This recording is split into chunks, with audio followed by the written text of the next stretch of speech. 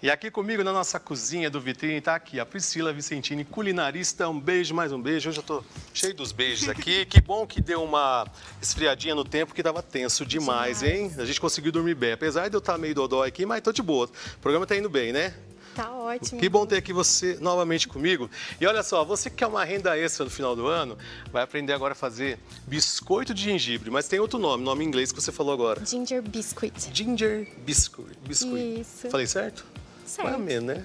Tá certo. Tá, deu certo? Então. E olha só, o que que a gente vai precisar para fazer? Gente, olha aqui esses biscoitinhos aqui que são uma delícia. Eu tô falando que é uma delícia, eu não provei ainda não, tá? Pode provar, Mas, ó, Zago. tenho certeza, porque tudo que você faz é muito bom. E olha só que graça, gente. Olha que amor, olha isso. Lindo demais, né? É. Aquela apresentação Natal, a gente gosta de colocar aquela mesa linda, né? Ah, bom Natal demais. encanta a gente, né? A gente tava comentando como é bonito o Natal, né? É, e agora a gente gosta de enfeitar a mesa, deixa aquela mesa bonita, colorida.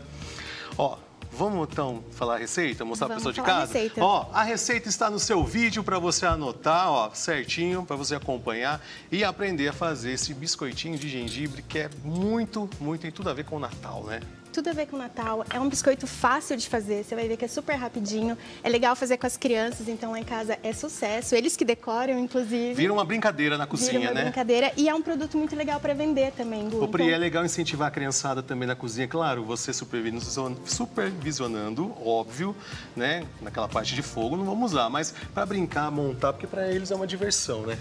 É, eles adoram cortar, pintar, então dá pra gente fazer decorado, dá pra fazer com, é, com confeitos aqui, assim, ó. Fica coloridinho, então é uma graça. E o pessoal vende super bem agora final do ano, então é uma receita bem bacana pra já ir fazendo. Então, bora, receita no vídeo agora, vamos colocar novamente, que a Pri vai passar o passo a passo para vocês. Então, primeiro a gente vai entrar com o nosso óleo de coco. Para quem não tem problema com alguma restrição com lactose, pode usar a manteiga normal, Uhum. tá? Então a gente coloca o óleo de coco, O bom do óleo de coco é que é mais saudável, né? Bem mais saudável, Bem mais né? saudável.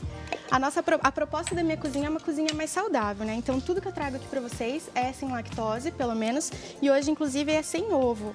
E aqui era o açúcar de coco, perdão, açúcar mascavo, mas que também dá para ser feito com açúcar de coco. E aí aqui a gente vai só, ó, juntar tudo até ficar branquinho. É um processo bem rapidinho. Ó, tá bem marronzinho, Fez né? na mão rapidinho. A gente vai ter que fazer até ficar um creme fofo e mais branquinho. Só mexer, ó, gente. Ó, nem precisa de Ó, batedeira nem rapidinho nada. já ficou mais branquinho, é esse o ponto. Ah, rápido assim? Rápido assim, ó como ficou branquinho. Hum, bom demais, hein? Então, realmente, Que quer fazer em Ai, maior delícia. quantidade, usa batedeira. Se não, Essa quantidade, quantos biscoitinhos eu consigo fazer? essa receita dá uns 20 biscoitinhos Nossa, bastante, É bastante. bastante. Aí aqui a gente vai entrar com as nossas especiarias, que é a graça dessa receita, né? Então aqui eu tenho a canela, que a gente vai colocar uma colher de chá de canela, ou a gosto, né? Que é só uma indicação de consumo. Então, uma colherzinha de canela, uma colherzinha do gengibre em pó. Uma colherzinha só. É que Pra o não ficar gengibre aquele ele é gosto. É, o gosto do forte, gengibre, né? ele é bem marcante, né? Então, um pouquinho do gengibre em pó. Dá pra gente usar também cravo, mas eu não gosto. Eu gosto mais só aqui com, com esses aqui. E outra flor da nossa receita que é o melado, que também dá pra usar mel. Aqui, como eu trouxe uma proposta vegana, a gente usa o melado. O melado, né? Qual que é a diferença dele pro mel? O melado é de cana. Ah, verdade, o melado é de cana. Isso. E o mel da abelha, Tava né? nessa dúvida. Aí aqui, ó, só de novo unir tudo, incorporar todas as especiarias nessa nossa mistura. É Vamos- você que tem um filho, né? Que você precisou adaptar. Isso. Por que, que ele. Qual que é o problema? Ele tem? Ele é celíaco? Ele tem alergia ao ovo. É alergia a ovo, Eu né? sou intolerante a leite. Então você adaptou isso para fazer na sua casa, né? Para vocês lá, acabou virando E uma hoje profissão. é a minha profissão. Então hoje eu sou especialista em trabalhar com é, alimentos que são livres de ovos, leite e muito sem o trigo também, por ser um alimento inflamatório, né? Numa proposta de ser mais saudável. Juntamos aqui a farinha de linhaça, o gengi, o perdão, o bicarbonato e uma pitadinha de sal. Pri, só ingredientes super naturais, super saudáveis mesmo. Super. Linhaça também. E hoje a gente trouxe uma proposta mais simples que é com a farinha de trigo mesmo. Uhum. Só também juntar aqui. Mas eu poderia trocar então a farinha, né? Dá para usar um mix de farinha sem trigo tranquilo. Inclusive aquele mix que eu trouxe na última vez, dá para trazer para cá também. Que gostoso, gente. Olha só, o Natal saudável aí. Quem disse que quem tem problemas alimentares não pode comer coisa gostosa? Isso aí é passado, não existe mais isso não. Pode comer de tudo e com muita saúde, muito gostinho. Esse aqui, gente, eu indico todo mundo a fazer, porque ele é maravilhoso e o perfume que vai ficar na casa de vocês é impressionante. Já tá um perfuminho aqui já, ó, tá subindo aí. Que aqui, delícia. Gu, a gente juntou tudo, ó. É. Só chatinha essa parte, mas a gente vai daí juntar com as mãos o que já, a gente já incorporou aqui. Agora é a hora do carinho? Agora Fazer é aquela hora do massa? carinho, exatamente. Então aqui tudo já incorporado, eu vou com as mãos juntar. Agora chegou a hora de você colocar amor na sua receita, porque faz a diferença. Toda a diferença. Culinária, falo que o tempero especial é o carinho, é isso né? aí. Não dá pra fazer de qualquer jeito não, né? E aqui a criançada já pode pôr a mão na massa também, porque não precisa sovar, não precisa bater, não precisa nada. A gente vai só incorporar tudo.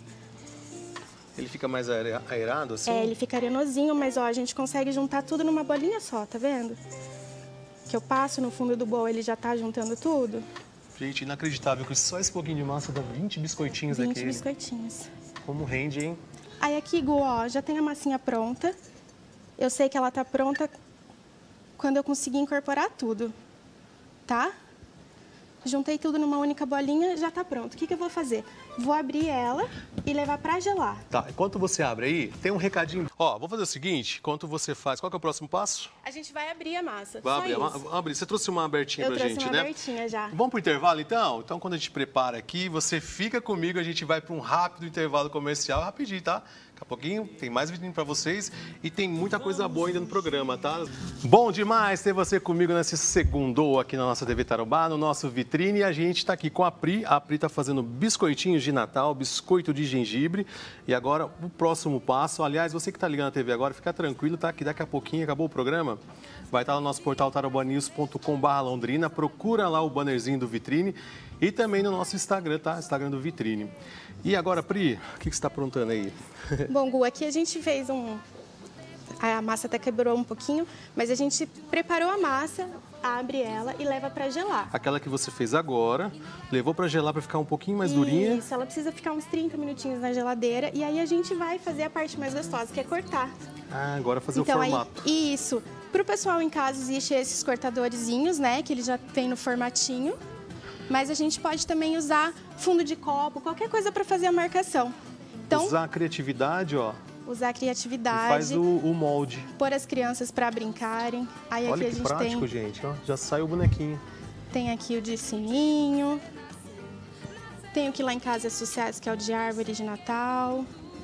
E aí aqui não tem segredo, a gente vai fazer o corte, vai pegar esses biscoitinhos, colocar na assadeira e levar para assar. Como que você corta essa massinha? É Com a faca mesmo? Você vai mostrar pra gente, né? Eu vou tirar aqui para você. Tô curioso, porque eu sou totalmente desastrado, né? Eu já ia estragar tudo minha árvore de Natal ali, ó. Mas é fácil? Falando em árvore de Natal, sabe o que é legal? A gente fazer as bolinhas, o pessoal faz isso bastante nos Estados Unidos. Faz a bolinha e usa de enfeite na árvore.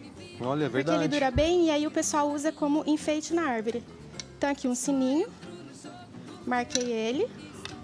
Eu venho aqui com delicadeza. Aqui ele vai desmanchar um pouquinho porque a massa acabou ficando muito gelada. Hum, é, que a gente tirou antes, né? Ou tirou depois, né? Ficou um tempinho a hora Ficou que tempo chegou. demais na geladeira, eu esqueci de tirar certo. antes. Em casa vai dar certo, gente. Vou até separar aqui, ó, pegar esse que tá mais gordinho. A gente vem aqui e põe na assadeira. E vai repetindo isso com a nossa massa inteira. Aqui você colocou um papel manteiga, é isso? Isso, assa no papel manteiga para não correr risco de, de... Untar a forma não, não fica legal, né? Ele vai juntar um pouquinho de gordura, talvez, porque já é uma massa levemente amanteigada, Daí né? fica na massa, né, do desenho, do, no formato do... Então, se puder usar um papel manteiga ou uma assadeira antiaderente, melhor. O nosso bonequinho. Dá pra fazer na airfryer também? Nunca tentei. Porque eu sou o rei da airfryer, tudo eu quero fazer na airfryer agora. Olha, é uma Eu boa, acho que dá, eu acho viu? que a gente vai tentar e aí eu te falo é se bom, deu certo não, ou não. a airfryer é vida, né? Facilita bastante. E aqui, gente, é uma massa tão simples que, como a gente viu, ela tava aparentemente tudo dando errado. Uhum. A gente vai, modela de novo e corta. Não precisa estar Como se fosse aquela massinha mesmo quando a gente era criança, brincava. É isso aí, É gente. uma massa deliciosa de Só trabalhar. que você vai comer depois. Eita, coisa boa, né? Então aqui a gente olha e fala, nossa, que reboco. Não tem problema, a é gente assim mesmo. junta tudo de novo. Aproveita tudo. Por isso que eu falo, é uma massa muito boa pro pessoal fazer em casa, usar para vender. Tô sentindo o cheirinho. Maravilhoso, Nossa, né? Na hora que gente. assar, então, É um perfume, gente.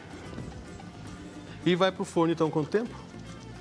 Depende muito do forno, né? Mas Uhum. em média uns 20 minutinhos, ou em forno 180 graus, pré-aquecido, ou até dourar. Você percebeu que ele começou a ficar douradinho, ele vai mudar de cor, vai mudar a textura, tá pronto para já tirar do forno. Então, beleza, ó. Daqui a pouco eu volto pra provar essa delícia, gente. Ó, boca cheia d'água. Delícia Natal, né? Eu sou Comida apaixonada. boa. Ai, meu Deus, só coisa boa. E aí, Pri? Bom, a gente tá com os nossos biscoitinhos ainda no forno, só que eu trouxe aqui para você. E tem uma proposta de finalização, Uhum. que é com o açúcar de confeiteiro em cima, posso? Pode. Vamos fazer agora? Ou a gente vai pra uma matéria da marca? Vamos fazer agora, vamos fazer.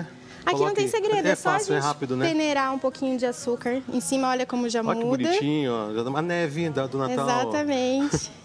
Porque só falta nevar aqui no Brasil, né?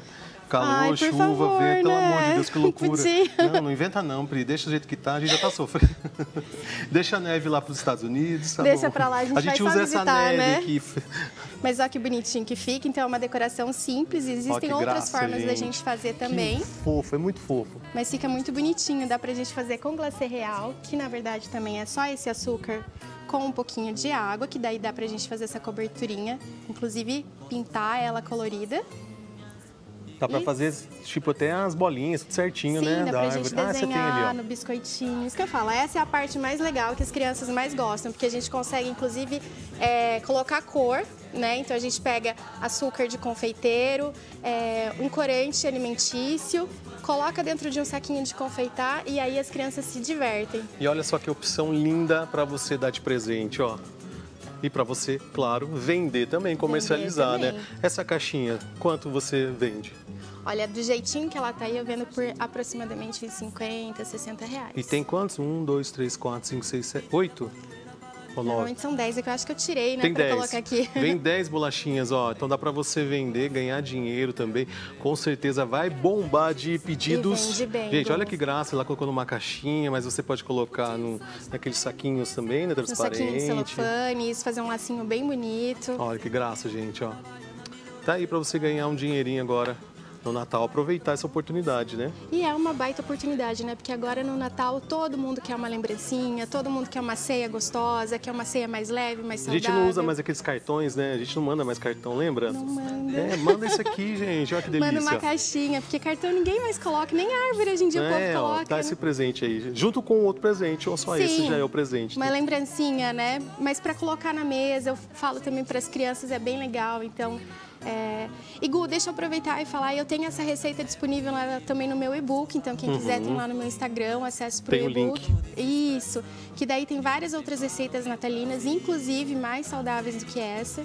E aí tem várias opções pra gente fazer um Natal bem saudável, bem gostoso. Continuando o nosso tema aqui de coisa boa, olha só. Você fica aqui comigo, a boca eu vou provar, tá, Fica Pri? Sim. Tô aqui sentindo, ó, ó, o cheirinho, esse aroma gostoso de canela com gengibre, é uma mistura boa. E aí, posso comer já? Já falta- ficaram prontos os nossos que estavam no forno, só Vamos que ele ainda mostrar? tá quentinho, ó. Acabei Ah, de tirar do forno. aqui? Então ficou 20 minutinhos? Nem isso, né?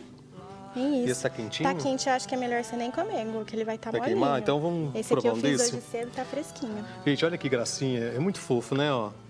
Hum, vou provar aqui, pode? Claro. pretinha, preta,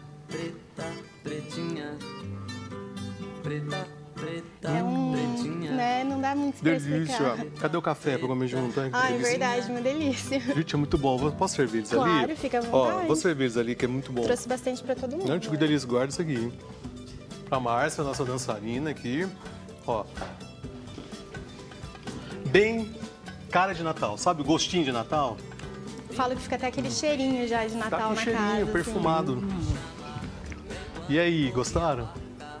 Muito Gente, bom. o gengibre fica muito sutil. Você, você percebe ele, mas assim, equilíbrio. É, É, muito até bom. dá pra usar o gengibre puro na massa, mas ele daí fica muito forte. Então, se usar o gengibre rala, é, em pozinho, é melhor. e Muito aí, bom. esse aroma que eu falo que é cheirinho de Natal, né? Bom demais. Parabéns, Pri, pelo seu trabalho. Obrigada, Gu. Seu